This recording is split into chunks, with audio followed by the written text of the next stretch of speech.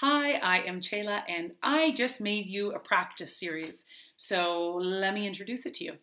This is going to be the first of five practices in a series that I'm calling Maybe I Don't Need to Work So Hard.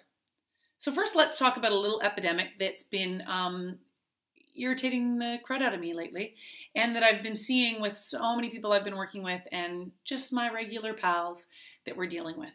And it's what I see in the um, I'm going to blame the big bad patriarchy is this uh, obsession with productivity and growth.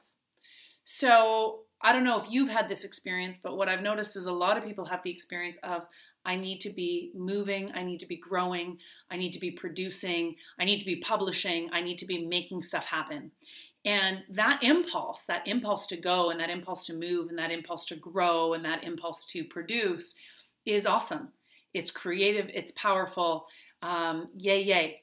Except that if we look at what we see in culture, particularly what we see in our in our current capitalistic system, is um, always growing. The only way for for this system to thrive is for us to always grow and always produce. Um, and the insanity of that is that nothing in the natural world works like that. Everything else has a death phase. Everything else has an incubation phase. Everything else has, oh, I can't see that little seed coming out of the ground yet. Um, or, well, we can't see that there's a baby growing in there yet.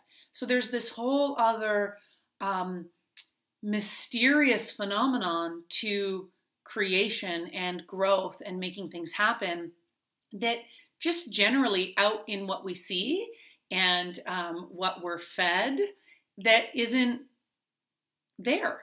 It's not honored, it's not valued as much as getting stuff done. So, this practice series looks at maybe we don't need to be doing things in the way we're doing things. And here's why I think it's relevant is people are tired. People are tired, people are stressed out, people are overworked.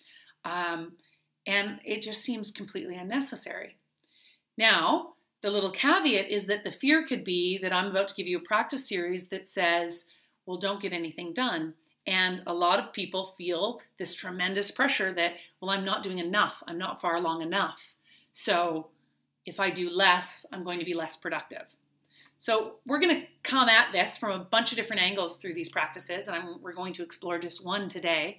But I would like to say that effort and productivity don't necessarily go together in the way that you might believe that they do.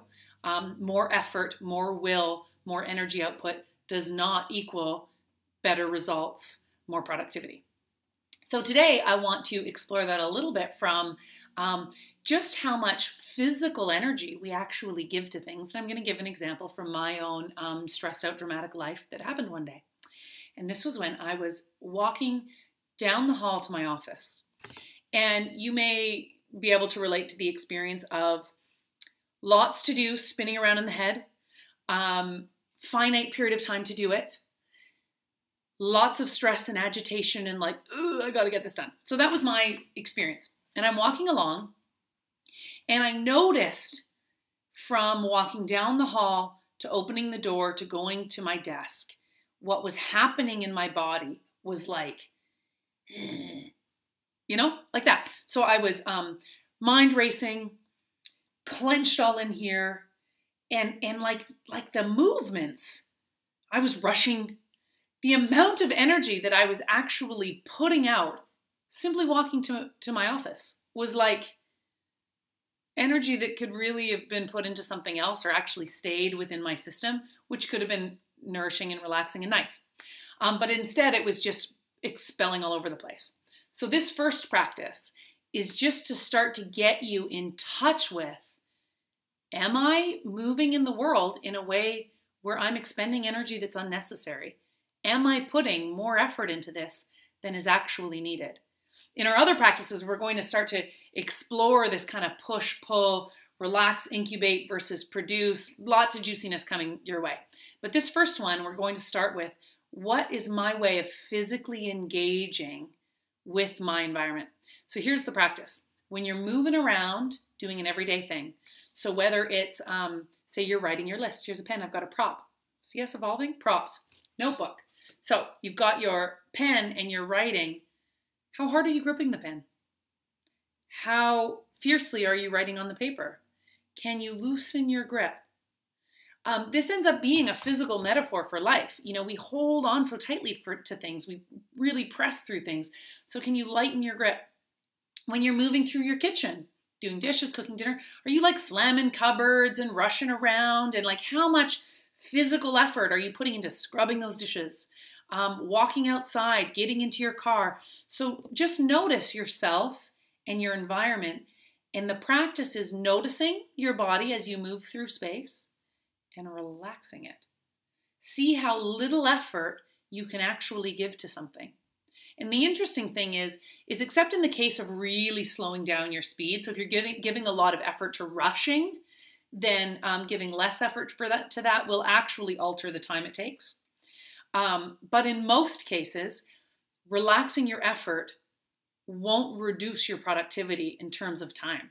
So it, it'll actually start to give you an expansive experience of time. Because so much of this, I don't have enough time, it's just how we're experiencing it and how we engage and relate to time actually alters how it is for us.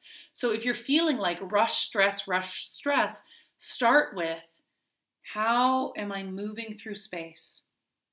And can I breathe a little deeper and a little slower?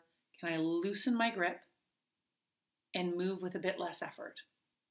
So give that a go for a week and see what happens. And then next week, I'm going to throw another practice at you to see if you can start to have the experience of not working quite so hard and see what it opens up for you. Thanks.